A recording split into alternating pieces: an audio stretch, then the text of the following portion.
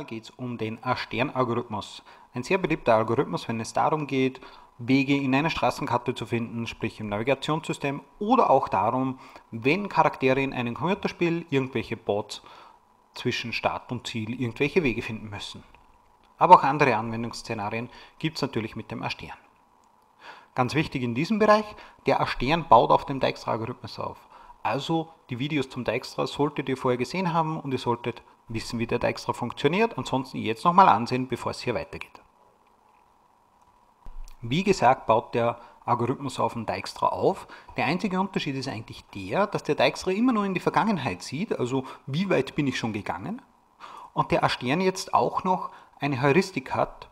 Und eine Heuristik ist nichts anderes als, eine, als ein Hinweis, eine Abschätzung des noch zu gehenden Wegs. Mehr ist es erstmal nicht. Aber fangen wir vorne an. Ich habe hier mal eine Landkarte von OpenStreetMap ähm, rausgesucht bzw. einen Screenshot gemacht und zwar von Linz oder einem Teil von Linz. Und angenommen, wir haben hier irgendwo einen Start und irgendwo ein Ziel und der Dijkstra-Algorithmus geht jetzt her, also der, unser Graph ist die Straßenkarte, jede Kreuzung ist ein Knoten, jede Straße sozusagen ist eine Kante. Und diese Straßenkarte jetzt, wenn wir von Start nach Ziel wollen, dann geht der Dijkstra-Algorithmus hierher und sagt, okay, zu diesem Knoten, wie weit bin ich jetzt schon gegangen, wie weit muss ich zu diesem Knoten gehen und sagt, okay, dieser Knoten bekommt einen bestimmten Wert. Eben zum Knoten plus Vergangenheit. Und dann, wenn er entscheidet, welchen Teil des Graphen muss er als nächstes ansehen, also welche Abzweigung analysiert der Algorithmus genauer, dann geht der Algorithmus her und nimmt diesen mit dem bisher günstigsten Verhältnis, also den günstigsten Weg, den kürzesten Weg bisher. Der Effekt ist, dass der Dijkstra-Algorithmus ungefähr so sein Ziel findet. Das ist natürlich nicht sehr genau, aber von der Idee her geht er relativ viele Umwege. Der Dijkstra-Algorithmus, der sieht auch ganz weit nach Ufer rüber, wobei das sicher weit weg ist vom Ziel. Er geht also so eher so radial vor.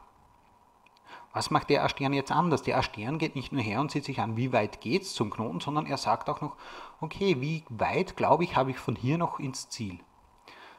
Also die Schätzung zum Ziel ist beim A-Stern auch noch dabei und das ist das Gewicht, nach dem dann sortiert wird und entschieden wird, welcher Teil des Graphen weiter durchsucht wird. Diese Schätzung macht es aus, die diesen Algorithmus signifikant effizienter macht. Von der Laufzeitkomplexität von O Quadrat kommen wir hier runter auf n log n.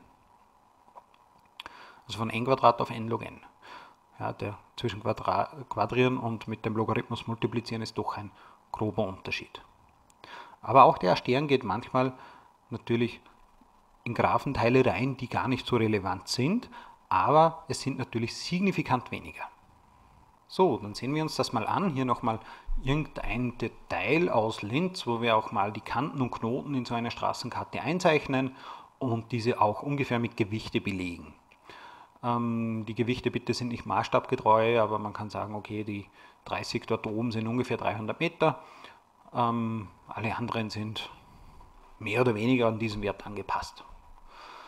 Also bitte nicht nachmessen. Gut, Blau ist unser Start und die Nummer 8 und die Nummer 22 unser Ziel, wo wir hinwollen. Ja, und was würde der Dijkstra jetzt machen, wenn wir hier so einen kleinen Teilausschnitt nehmen, würden wir sagen, okay, der Knoten 12, den erreichen wir über das Gewicht 20 und den Knoten 13. Wenn wir noch 9 dazu addieren zu den 20, die wir schon gegangen sind, bekommt die 13 den Wert 29. Und der Dijkstra würde auch auf die Idee kommen, über diesen Weg zu gehen und nicht über den Knoten 7 zu gehen, denn hier hätte er den Wert 36. Das heißt, er nimmt die Vergangenheit her und sagt, okay, wie weit bin ich gegangen? Und demnach entscheidet er, wie er dann auch weitergeht. Der Unterschied zum Astern ist jetzt, dass der Knoten 12 nicht den Wert 20 bekommen würde, sondern wenn er auch schätzt, okay, ich habe noch ungefähr Luftlinie von 30, dann würde dieser Knoten 12 den Wert 50 bekommen. Ja, und der Knoten 13 würde den Wert ja, 61 bekommen, wenn er schätzt, wir haben hier noch ungefähr 32 Luftlinie. Wichtig bei dieser Schätzung ist, die Schätzung muss natürlich konstant sein, ich muss immer die gleichen Metriken anwenden irgendwo, Aber ganz, ganz wichtig ist, es muss eine Unterschätzung sein. Keinesfalls dürfen wir den Weg überschätzen. Also wir dürfen drunter liegen, wir dürfen aber nicht drüber liegen. Daher ist sowas wie die Luftlinie gar nicht so schlecht, wenn es um Straßenkarten geht. Auch spannend beim A-Stern, wie schnell dieser ist und wie häufig dieser einen Irrweg geht, hängt natürlich damit zusammen, wie genau die Schätzung ist. Also wichtig, ganz wichtig, unterschätzen. Aber je näher es an der Realität liegt, umso eher geht der Algorithmus einen Irrweg. Okay? Das war's auch schon. Also bisherigen plus Schätzung, das ergibt einen Wert der Knoten und wir sehen uns immer diesen Knoten als nächstes an, der, wenn wir diese beide addiert haben, den geringsten Wert hat. Und so kommen wir schneller ans Ziel. Vielleicht nochmal zurück, diesen Graphen screenshotten, dann könnt ihr das jetzt mit Dijkstra und oder auch ähm, A-Stern nachprogrammieren. Viel Spaß dabei! Und wenn es euch gefallen hat, lasst ein Abo da.